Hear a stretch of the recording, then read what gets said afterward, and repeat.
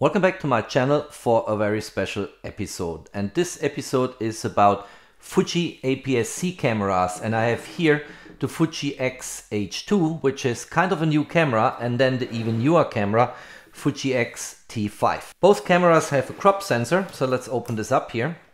Let's have a look. So it's a much smaller sensor than what you typically see on my channel because I'm mainly shooting full frame format or medium format cameras. And my general belief over many years was that if you are a pro photographer and you want to go for a pro shooting, you need a full frame sensor or you need a medium format sensor if you want to go beyond full frame. But these two new Fuji X cameras really changed my mind because they provide pro quality and a pro shooting experience. And they also finally, and I think they're the first ones who offer this, offer a reasonable resolution of 40 megapixel compared to the usual 24 megapixel. Now you can safely argue and say 24 megapixel is plenty enough. And I had this discussion on recent videos which I posted about the Leica SL2S. But you know, some people like to have these resolution reserves and that did hold them back for shooting APS-C cameras. Here now we have 40 megapixel on both sensors. I'll go into details in the course of the video. I also have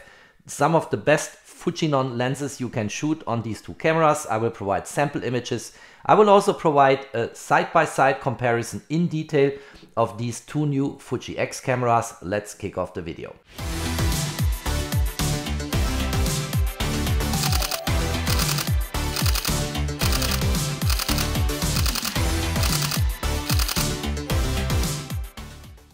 Looking at the two cameras, first of all here the X-H2 and then here the X-T5.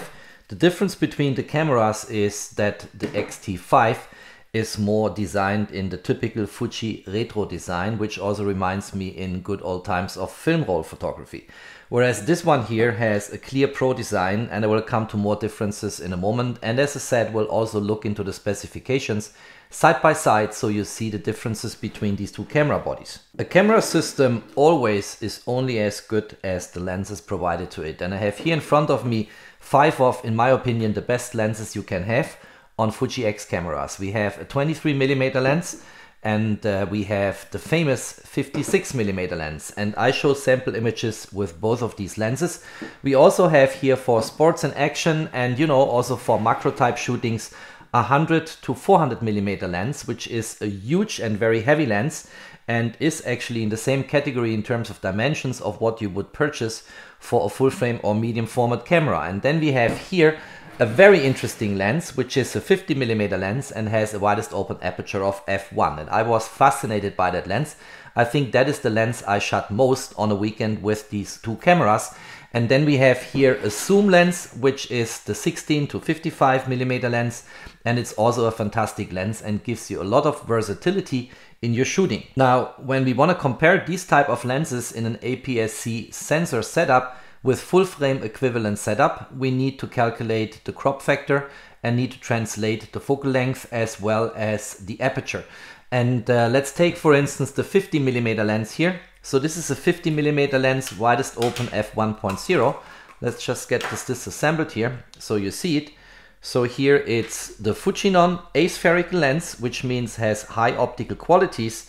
And then if we turn this by 180 degrees, we get here the specifications. It's a Super EBC XF lens, 50 millimeter, widest open f1.0.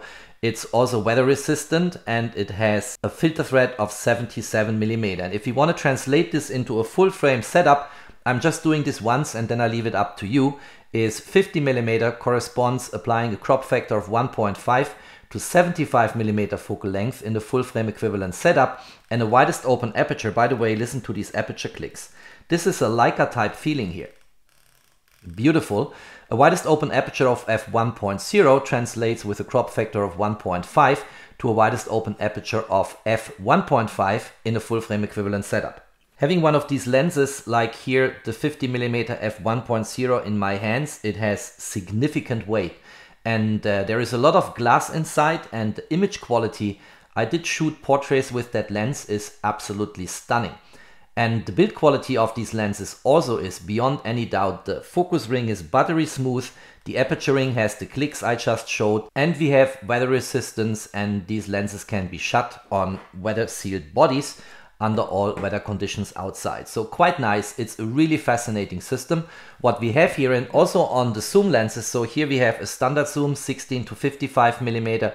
We have widest open f2.8. Again, listen to the aperture ring here.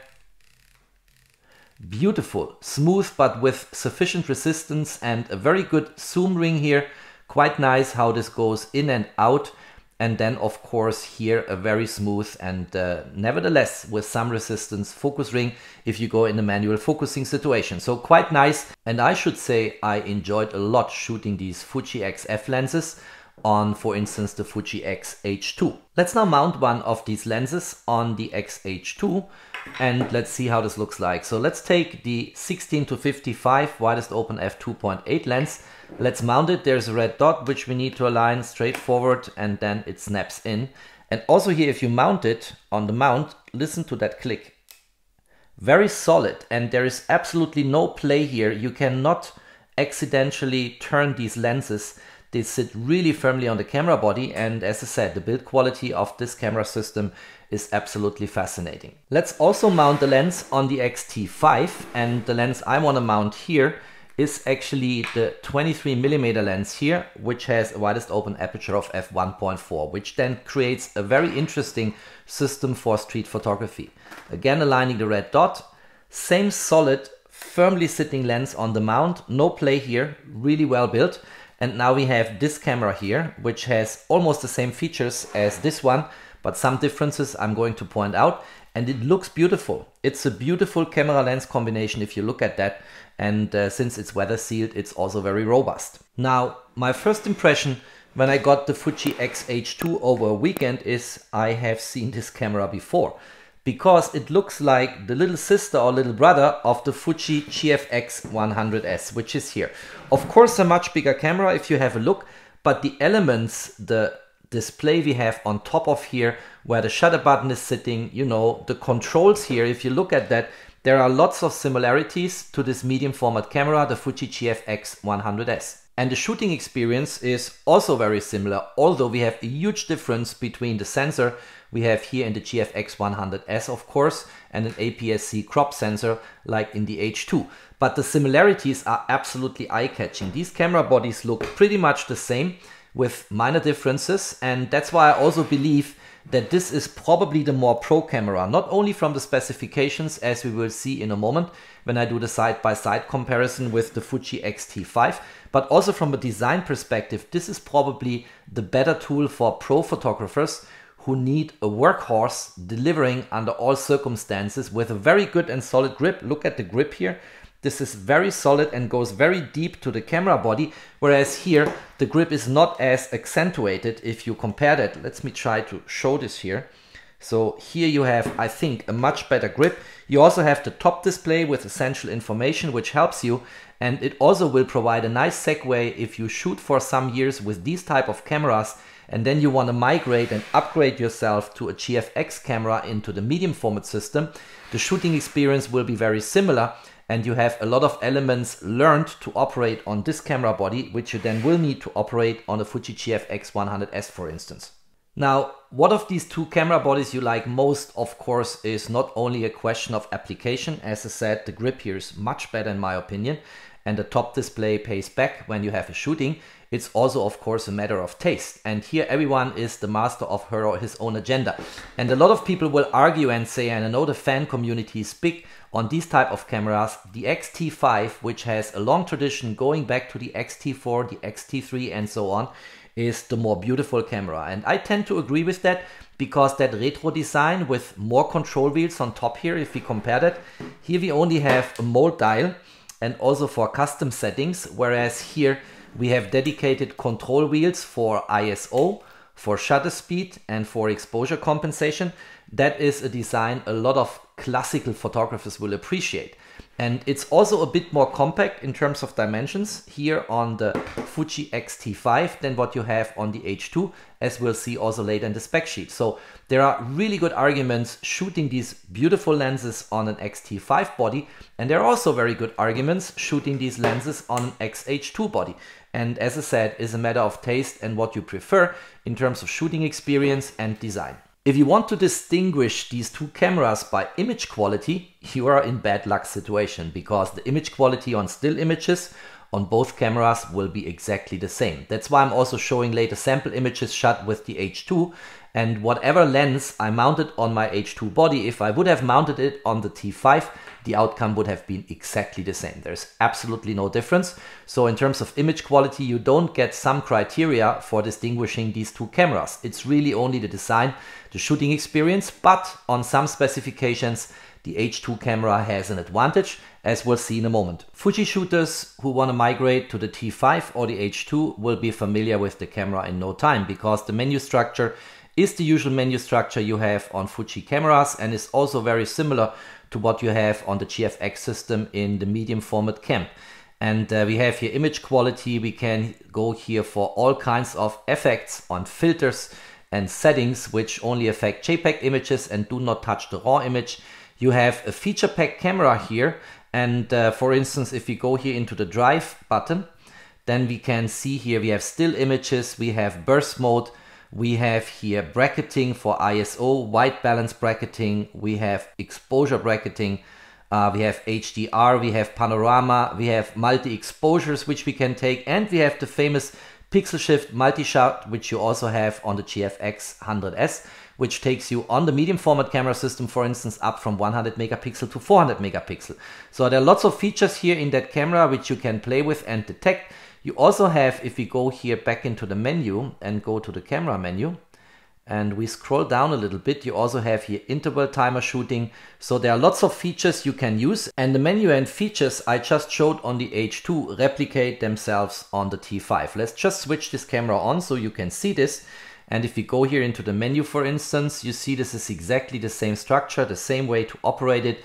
No difference at all. If we go, for instance, in the camera menu here, we find here the interval timer shooting setting. By the way, we also have on both cameras the famous Q button, which always sits on Fuji cameras. So if I push that, I get into an overview matrix with lots of settings. I can navigate here with my joystick and then I can change the settings here in the way I want to change them and uh, that is something which Fuji shooters always appreciate. It's the same of course on the H2. Here we have here the Q button and exactly the same setup. There are differences in the way you operate the camera because on that retro type camera you have more control wheels here. So for instance, when we had on the H2 before here the drive button, which took us into controlling the drive mode here, where we also have at the very bottom the multi-shot, that sits on control wheels on the X-T5, which I think a lot of classical Fuji shooters will appreciate. So it's here on that control ring here, and you see I can turn this, and then we have here, let's have a look here, let's bring this a bit closer. So here we have HDR, you know, here we have all these settings, bracketing, panorama, it's all on this control wheel, and there is a little lever here, which you can use to turn this. And uh, that of course might for some people a more convenient way of operating the camera. You also have a sub control wheel here and that is about still shooting and movie shooting, which then switches the camera into video mode. And that's quite nice. And uh, you know, I repeat myself, but design and the way you operate these cameras, there are clearly differences. And if you compare these two, that in my opinion is the more pro one. That here is the more beautiful one and has more classical control wheels. If you are not so much into buttons and displays, then you should go for this camera because that will make you much more happy. Both cameras have a lot of elements to control your workflow and they can also be customized, which I typically do at the beginning when I take a camera out of the box. Let's quickly show that just as an illustrative example here. So if I go down here to the settings menu, then I have here, sorry, that was one notch too far.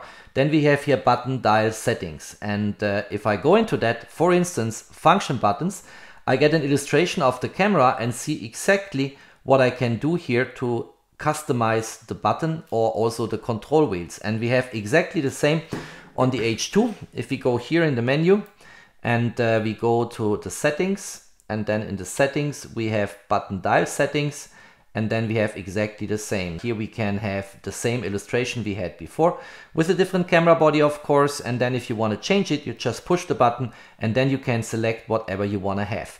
Both cameras also have a very solid mechanical shutter and also a very fast electronic shutter and uh, that's probably the fastest electronic shutter I've seen. Having said that, Fuji warns in the manual that you should not overdo it with electronic shutter because there might be rolling shutter effects if you have fast moving objects in your scene.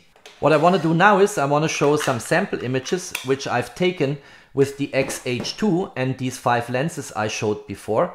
And then I want to go into a detailed but very quick comparison the specifications between these two cameras. You already saw the differences in design, you saw the differences in the way you operate the camera. Here you have more control wheels. Here you have more the pro design of the medium format Fuji GFX system.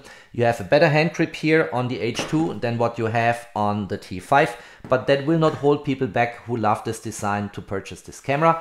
And uh, what is of course now very interesting is to see in terms of specifications, video and what have you, where are the differences and what do you purchase if you go for this one or for this one. When I show these sample images now, they are shot on the XH2, but as I mentioned before, they would be in exactly the same quality and outcome if I would have mounted the corresponding lens on the T5 because the image quality on stills is exactly the same.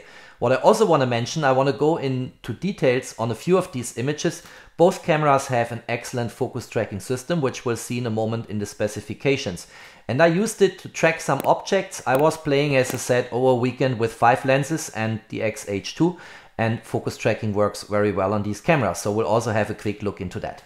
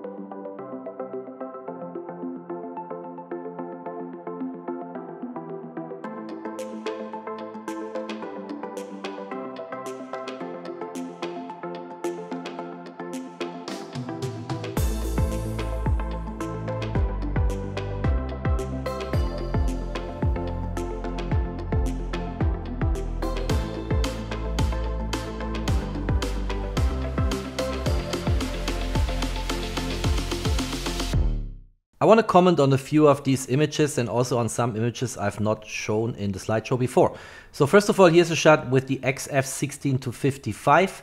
It's shot widest open at f2.8, 1 of 400 seconds and an ISO of 800. And I also cropped in a little bit, so the resolution as Lightroom is showing here is 33.6 megapixel and not the full 40 megapixel. If I crop in here by 100%, this is absolutely brilliant. It's absolutely sharp, crisp, the colors are nice, the background is super blurry, and it looks really good. So this was shot at a focal length of 55 millimeter. Here an image shot at f8.0 with a 16 to 55 lens and an ISO of 10,000, so a really high ISO, and this image still looks good.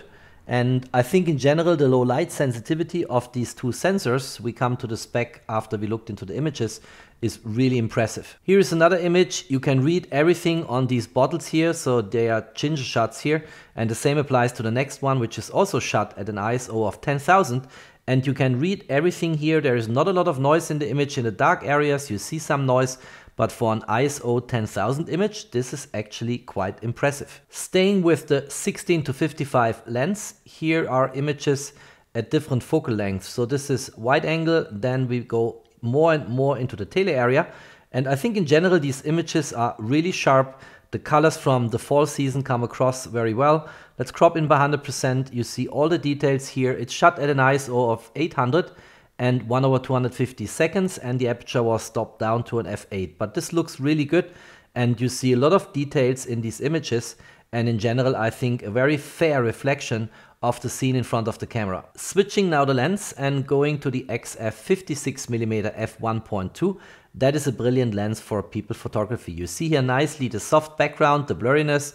You see my subject in the foreground is very sharp, Very crisp, you see all the details. This is an almost 40 megapixel image, 39.8. I only cropped in a tiny little bit and this is a brilliant lens of course. It's also the newest iteration of that lens. There exist former versions of this lens and this is ideal for people photography, fashion, beauty, what have you. You can also use it for compressed landscape of course, but here I think is the ideal application of that fantastic lens. The XF 56mm is built to be shut widest open. And here's another image. Again, look how soft and nice the background blurriness is and how sharp my subject is here in the foreground. Very nice how the texture of the skin comes across the eyelashes, the lips and the texture of the lips. Very, very nice. And I did actually shoot most of these lenses most of the time widest open and never regret it. You will stop down, of course, for landscape or, you know, cityscapes like we saw before, but on people it's just perfect to shoot them widest open. Switching lenses going to the XF50mm which I showed before in the video with the widest open aperture of f1.0 and as I mentioned in the full frame equivalent setup this would be a 75mm lens with widest open f1.5 and this is probably my most favorite lens on the Fuji X system because it is so nice in terms of how it renders the background and how it separates the foreground from the background and how sharp everything is you see in that lens, even when it is shut widest open. Very nice. And uh, here are a few more images. Let's crop in here by 100%. Look at the details you get widest open shot at f1.0, ISO of 125, but also from a distance it performs because if I crop in here, you see that if you crop then to 100%, the subject in the foreground is still nicely separated from the background, even if you shoot that lens at f2.8. Very nice lens, very heavy glass, but it fully pays back to have this lens mounted on the H2 or the T5. In terms of autofocus performance, both cameras have face detection, eye detection, so it's ideal also for tracking. I come to tracking a bit later in the video. And it also has subject recognition, so it can recognize cars, trains, planes, you know, animals, what have you. And you see here again how reliable that autofocus system is working in the H2. The eye is pinpoint sharp, we have a nice background blurriness, and in general autofocus was super reliable on the camera and is as well reliable on the Fuji X-T5. Many of the Fuji XF lenses are also good for close-up shots, although they are not really macro lenses. And here again is the XF 50mm f1.0. Here is where the focus was sitting. You see all the structure and the details, but you have a very soft background blurriness. And by the way, here in this area, nice circular background bokeh lights, which I like a lot. It looks really pleasant. Here another example with the XF 50mm and you see how circular these background bokeh lights appear here. This is shut again widest open. Here an image I took with the 23mm lens. You don't see metadata here because I was composing two frames here. One frame for the sky and for the Milky Way and the stars in the background and one frame for the foreground. And if you look into that here, this is now clearly a low light example. It looks really nice. You see a lot of detail and the stars are also beautifully rendered here in that Milky Way picture, which I took at a lake in Switzerland where we don't have a lot of light pollution. So the 23mm, which has a full frame equivalent focal length of 35mm, is an ideal lens for landscape, you know, reportage, architecture, but in particular also for the night sky and the sensors of the H2 and the T5 they are in particular nicely catching light if you want to go for a Milky Way picture like I did here for that photo. Here now an image shot with the telezoom 100 to 400 millimeter f4.5 to 5.6 and uh, the weekend when I tested the camera system was a hazy almost foggy weekend with a lot of wind. But you see here nicely the different layers of the mountains. Although it's hazy and uh, I think in particular for what people call compressed landscape where you have a compression effect from tele lenses this lens is even good for landscape but of course in particular for sports and action and uh, that was also the lens I was using for testing the focus tracking on the XH2. As I said a moment ago, the day was not only a hazy day here in this region in Switzerland, it was also super windy, very strong wind. So I found these two people here setting up their kites for letting them fly. And you see here how they get prepared, how they set this all up. And I was configuring the camera for fast tracking on subjects with the autofocus system. And uh, the autofocus system, as I said before, is exactly the same on the T5 as it is on the H2. And actually my focus was super sticky.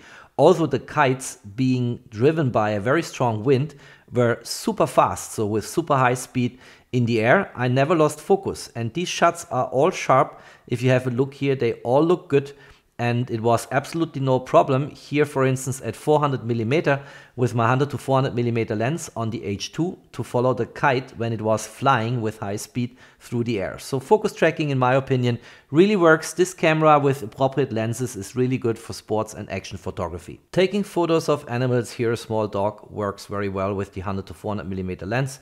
It's super sharp, it's super crisp and I like the outcome. It's also, by the way, good for close-ups. If you look here, this is absolutely pinpoint sharp and crisp, but it then has a very nice transition into a background blurriness. So here is the focus sitting and then it transitions and becomes very blurry in the background. This is by the way a shot with ISO of 800 f5.6 at 400 millimeters, so in the maximum telezoom here and shot at 1 over 250 seconds. A tiny little crop, 39.8 megapixels, so almost a full 40 megapixel. Looks really nice, sharpness is really impressive. All of the five lenses I shot on the X-H2 are super sharp. Here another sample image which I wanted to quickly show. Look how sharp that is, look how nice the foreground is separated from the background. Same way here, very nice, a lot of detail on this plant or flower here and also here, which I just intentionally took as an image to show you how this is resolving here the details on the different aspects of this image. Look at that leaf here. Very, very nice. This is the last image with someone who cycles here on a bike and again has this nice telecompression effect which you get if you take landscape pictures with a telezoom or a telelens. All in, it's a fantastic experience shooting these five lenses on the X-H2. As I said, the image quality on the T5 will be exactly the same because it's essentially the same camera if it comes to still images. And what I want to do now is quickly go through the similarities, but most importantly, the differences between the T5 and between the H2. First of all, the price difference is $300. So I just looked this up at B&H in the US, $1,999 for the H2 and $1,699 for the T5. Then I went to the Fuji website and basically put the cameras side by side. So in everything that's coming, you will see on the left hand side the H2 and on the right hand side the T5. And on the first page of specifications, the only difference we can spot here concerns the memory card slots. Whereas on the T5, on the right hand side, we have two SD card slots we have on the left hand side on the H2 one SD card slot and one slot for Compact Flash Express Type B cards. And that is of course essential for the H2 because as we will see later, the video capabilities on the H2 go beyond of what the T5 is capable and you know Compact Flash Express Type B cards just have higher transfer rates than what you can achieve on an SD card. On the second page of specifications, the only difference concerns the shutter speed in program mode, which I'm personally not using anyway. I shoot either in fully manual mode or in aperture priority or in shutter priority, but not in program mode. But in program mode on the H2 on the left hand side, you're limited to longer exposures up to 4 seconds, whereas on the T5 on the right hand side, you can go up to 30 seconds. On the next page of specifications, the big difference comes in video mode because in videography on the left hand side, the H2 can shoot up to 8K and it actually works very well and the camera also does not get super hot. So if you shoot it, it's a reliable camera for 8K videography. On the right hand side on the T5 you can only, but only is in quote unquote, go up to 6K and uh, actually to be precise it's 6.2K and that is of course a lower resolution on the T5 than what you can shoot on the H2. For me that doesn't make a big difference but it's something to note if you are a pro videographer. And by the way if you would run into a heat issue shooting 8K with the X-H2 there is an accessory you can purchase from Fuji which is a fan you can mount on the backside of the camera and that will further cool down the camera so you have a longer shooting experience. And then is on that page another difference which really makes a difference for sports and action, namely on the X-H2 you have a much larger buffer for continuous shooting so you can shoot much more frames in the same time window than what you can shoot on the X-T5 and that is a big advantage in particular if you focus track on continuous shooting in sports and action subjects and you want to shoot in burst mode. On the next page of specifications, everything on both cameras is exactly the same. But differences we then find when we further scroll on the electronic viewfinder as well as on the LCD screen. And on the viewfinder, they both have OLED color viewfinders, but the resolution on the left hand side on the H2 is significantly higher with approximately 5.76 million dots, whereas the T5 has only 3.69 million dots. Now, both viewfinders, in my opinion, are excellent, so this is probably not a distinction criteria here, but it might make a difference for some people. They, by the way, both have a magnification of 0.8 times, if you shoot them with a 50 millimeter lens. And on the LCD monitor, it actually flips to the reverse side.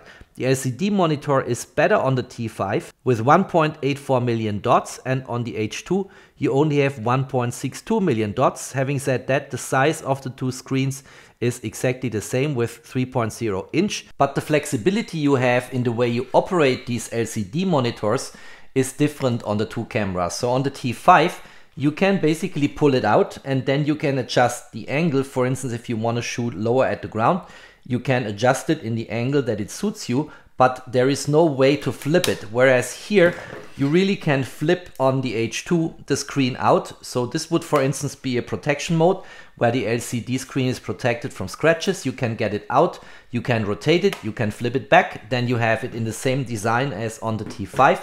But you can also use it in selfie mode if you want to monitor yourself when you shoot yourself, for instance, for a reportage or for a vlog. So here you have much more flexibility on the H2 than what you have on the LCD monitor on the T5. And then last but not least on that page, we only have a top side LCD monitor on the H2 in the same way as we have it on the medium format GFX 100S, but we don't have it on the T5. And whether you need or don't need what Fuji calls this sub LCD monitor of course is completely up to you. Scrolling further down on Fuji's website, we find again video information. So 8K versus 6.2K we already discussed, but you also have more pro codecs for video shooting on the H2 than what you have on the T5. So for instance, Apple ProRes is available only on the H2 and not on the T5. But the T5 nevertheless is, I would say, a good video camera if you want to use it for that. Scrolling further down, no real differences, but then I found under self timer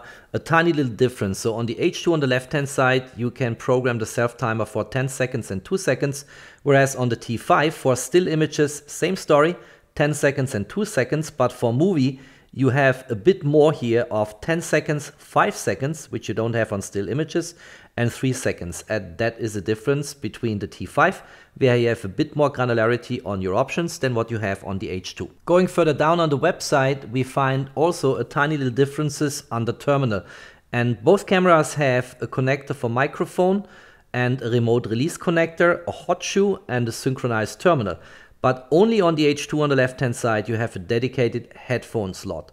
And that's what you don't have on the T5, but the T5 provides in the box a headphone adapter. And whether you need a microphone and a headphone slot really depends on what you want to do with the camera. Pro videographers, of course, appreciate to have both on the camera body and not to have to decide and then for a headphone, for instance, use an adapter. I scroll now to the end of the specifications website and can conclude here the last differences we find. First of all, battery life is better on the right hand side on the X-T5 than what you have on the H2. And of course, in videography, for instance, that's also coming from the fact that you have a bit more capabilities on the H2. The dimensions are also bigger on the H2 and you have this option to mount this accessory fan which helps you to cool down the camera and then on the accessory side you also find more accessories in the box of the H2 with one difference the headphone adapter is only in the T5 box but that you don't need on the H2 because you have a dedicated headphone jack. I want now to conclude the video and provide a quick wrap up. And I want to first focus on photography. If you talk about still images, both cameras are exactly the same. The image quality is indistinguishable. It's the same sensor and if you mount a lens from the H2 on the T5, you will get exactly the same outcome. So here is no difference, except if you are in sports and action photography and you do a lot of burst mode shooting in continuous shooting, then the H2 is way of superior because the buffer for storing frames is much, much larger than what you have on the T5. On the videography side, also the H2 has more to offer because you can record up to 8K. You also have the much better storage option here with your compact flash express type B card and the SD card as a backup, whereas here as I said in the specifications, you have two SD cards and uh, that of course is on the H2 the more pro setup. But in general, if you can live with 6.2K videography and if you don't care about that large buffer for continuous shooting, then these cameras are pretty much comparable. Now, the last distinction factor, of course, is design. And I personally think that the H2 has a more pro appearance. It's like a mini copy of the GFX 100S in terms of design and I just like the hand grip here, this deep hand grip, much better than what I have on the T5.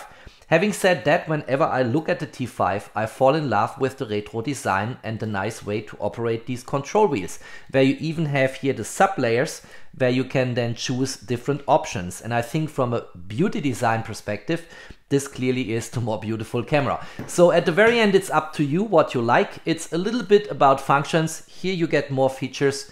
This is also the camera which will never get hot or overheated if you shoot video because you can mount here on these two screw holes here, the fan I showed before in the specifications. But you know, if you don't care about that, if you don't need that large buffer for continuous shooting, then the T5 is worthwhile, the same recommendation as the H2. If you like this video, don't forget to drop me a thumbs up, stay tuned on my channel, there is always more to come. Thanks for watching, stay safe and healthy and of course, peace out.